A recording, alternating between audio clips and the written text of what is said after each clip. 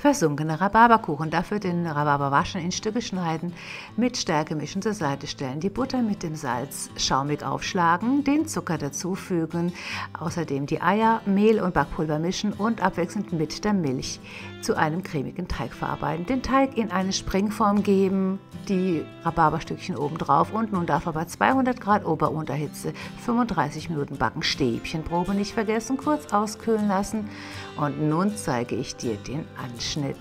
Das ganze Rezept inklusive des ausführlichen Videos findest du auf meinem YouTube-Kanal, also bitte abonnieren, liken nicht vergessen.